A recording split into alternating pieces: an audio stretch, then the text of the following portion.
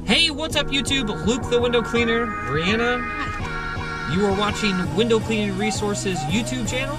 And today we're gonna go over our, well, in our opinion, the five mistakes that newbies make the most when they first start out window cleaning.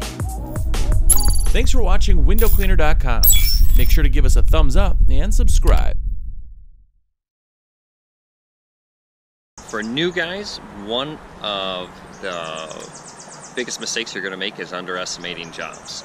So, um, one of those jobs is French windows in storms. How many times do you think we've underestimated French and storm window jobs? We haven't in a long time. Because we've learned from our mistakes. Yes. What are some of the things we do to uh, make sure we're getting a clear scope of the work? Estimate, we go through and we check all the windows to make sure that they can be opened from the inside. So we determine if the storms have to come up from the outside or the inside. Quote it in person, like yeah. Never quote a storm job over the phone. Um, and you can still absolutely underestimate uh, storefronts, commercial work. It's not just storms and French panes, but make sure you're always taking account for everything that could go wrong will go wrong. And uh, you don't want to underbid yourself. Um, I think it's something that takes experience and practice, but um, over time, for you new guys, you'll definitely get it down. But underestimating jobs uh, is definitely one of the biggest newbie mistakes that we, we hear about and that we Know how much you're worth as well. So just because everyone in your area, sorry, just because everyone in your area is charging six dollars doesn't mean for a window on a residential home doesn't mean that you have to. If you offer a better service, you can charge more. Yep. And that same that same philosophy goes along with storefronts and commercial work too. Just because they're charging, Lord forbid, 25 or 50 cents a pane, don't. Uh, provide a better service and charge higher prices, and uh, I think your company will grow faster and you will appreciate it in the long run. So one problem that we see with you guys is they have difficulties with closing out, and that all really starts with when you first come up to a window. I should already know what side of the window I'm going to close out on. I should already know where the fingerprints are. Uh, it's just, and you'll get more and more used to that the more you clean windows.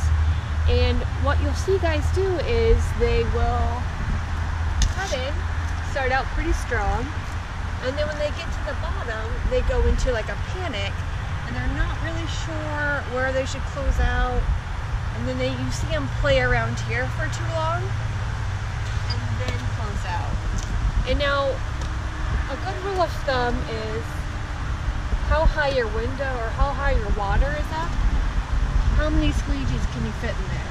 I can fit two and a little bit uh, drag marks if I was going to do it straight across. So if I'm going to fan this window, I should be able to do it in three moves.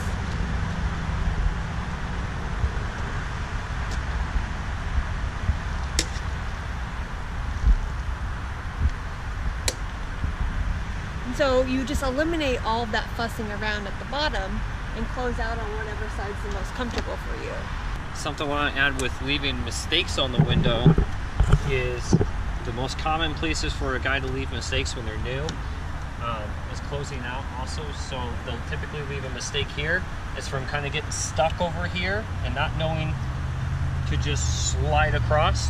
And then you'll see, usually we're handing, one, we're usually holding the squeegee incorrectly. So our hands are where the handle is touching the frame. So when we get here, my knuckles and my hands touching the frame and I'm leaving gaps of water here, or if you're closing out the bottom, the same thing.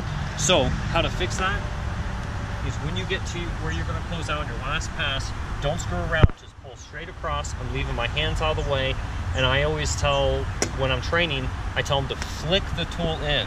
So you want to flick it inwards so that the rubber is actually bending into the frame, ensuring that you're removing all of the water. Still do my flip. Another uh, big newbie mistake is drips. Um, rule of thumb, when you're inside, it doesn't matter a home or a commercial building or whatever it may be, if your washer is dripping water, it is too wet.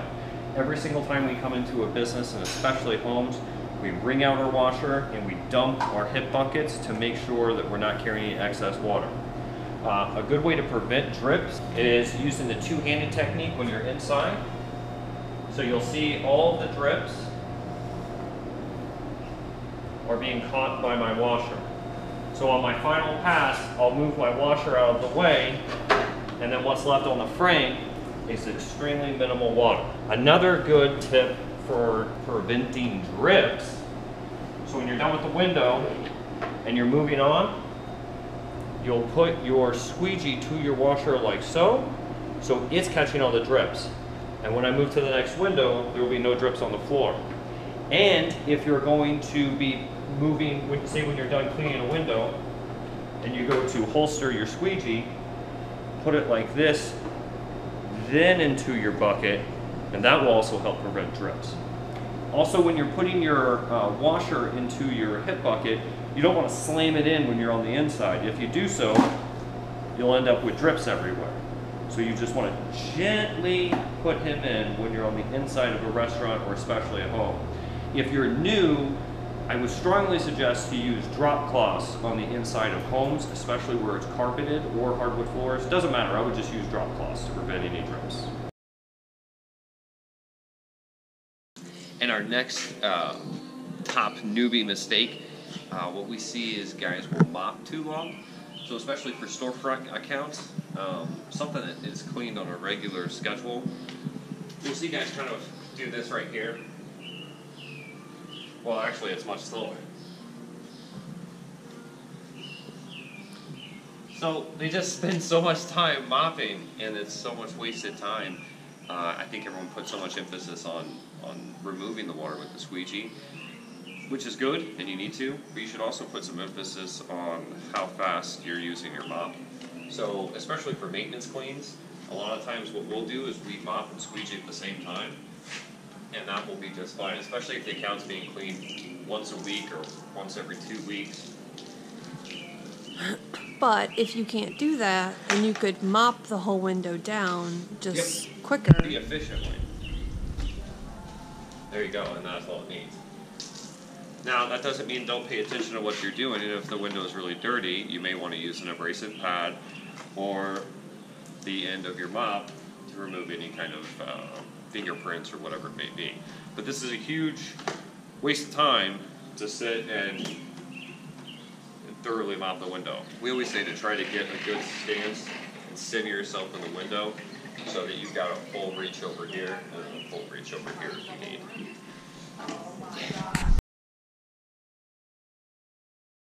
Another problem we see a lot is people blaming a tool for their mistakes or the rubber for their mistakes or, you know, um, just pointing the blame everywhere else and not actually thinking maybe it could be your technique.